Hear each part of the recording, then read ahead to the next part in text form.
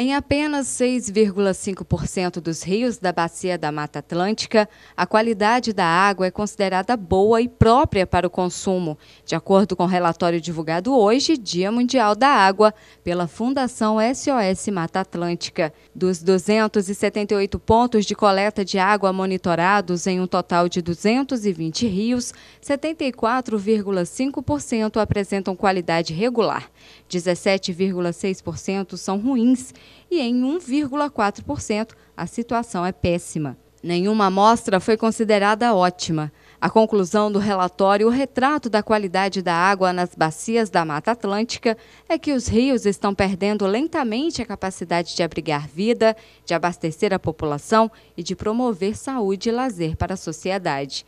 A qualidade de água péssima e ruim, obtida em 19% dos pontos monitorados, mostra que os 53 rios estão indisponíveis, com água imprópria para usos, por conta da poluição e da precária condição ambiental das suas bacias hidrográficas, segundo a Fundação.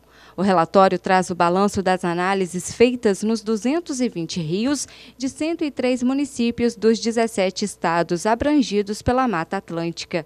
Nos 278 pontos monitorados, foram feitas 2.066 análises de indicadores internacionais que integram o Índice de Qualidade da Água, composto por 16 parâmetros físicos, químicos e biológicos na metodologia desenvolvida pela SOS Mata Atlântica.